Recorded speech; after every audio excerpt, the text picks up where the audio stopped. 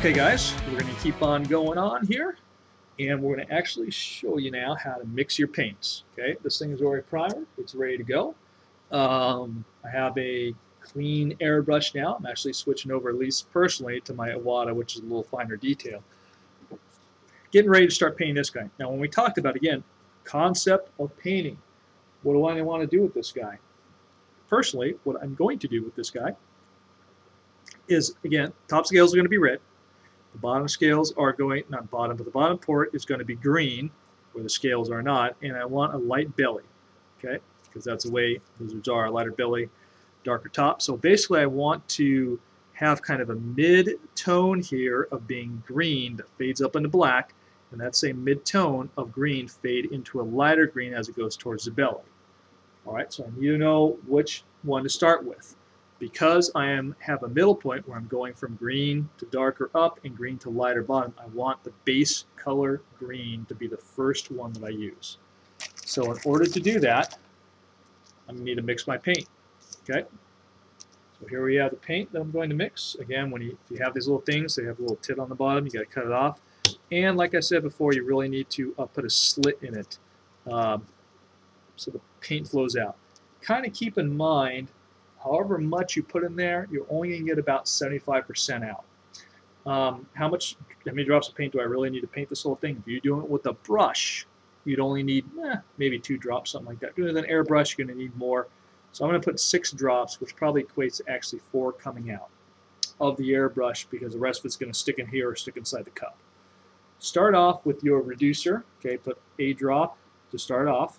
Okay, and then put your paint in and then put the reducer on top. So again, six, one, two, three, four, five-ish. You can see how thick this stuff is. And I use this for a purpose and a reason so I can show you. You can even use this type of stuff to, uh, to do paint. Okay, you take your garbage brush, I'm going to start thinning this down, you're going to mix it up, and you can see that's thick, right? I mean, that stuff's like Play-Doh in there right now. All right, so come in and start coming in with about, you're going to have to get a feel for this. I still don't have it down 100%. I'm going to start off with about four drops of reducer. That's an awful lot, but this is awful thick too. So you're going to mix it around. And what you're looking for, now people say consistency of milk, okay? What I do is I draw it up here on the side, of the side of the cup.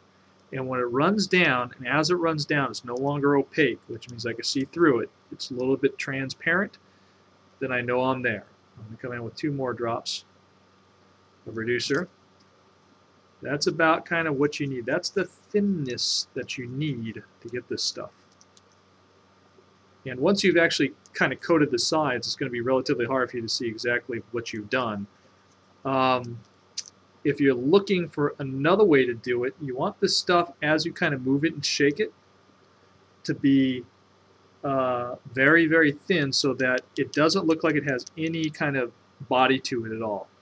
Uh, think of kind of like if you're making a stew or you've had a stew, how it has a little bit of that thickness kind of to it. Um, vice like water or soup, you want this to be like a soup consistency almost. Uh, consistency of milk was a lot of people say, but again, I don't have milk right here in front of me. Just kind of looking at it so there's no jiggling, there's no surface tension resistance, there's nothing, it doesn't pull up anywhere, and it flows very, very easily, which this does. Okay? So we've got it that far. And I got to switch out airbrushes here real quick to, to make this happen. And uh, we're going to go ahead and do that. We'll come back and get to the rest of it.